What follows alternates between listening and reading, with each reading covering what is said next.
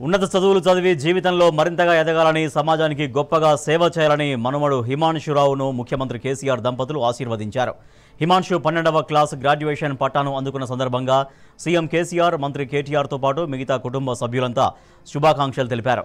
హైదరాబాద్ గచ్చిబౌలిలోని Oakridge international school నుంచి తన పన్నెండవ క్లాస్ను పూర్తి చేసిన సందర్భంగా నిర్వహించిన గ్రాడ్యుయేషన్ డే కార్యక్రమానికి సీఎం కేసీఆర్ కుటుంబ సభ్యులంతా హాజరయ్యారు. ఇక కమ్యూనిటీ యాక్టివిటీ సర్వీసెస్ విభాగంలో గొప్ప ప్రతిభను ప్రదర్శించినందుకు గాను హిమాంశు ప్రతిభను గుర్తించిన పాఠశాల యాజమాన్యం సిఐఎస్ విభాగంలో ఎక్సలెన్స్ అవార్డును అందజేశారు.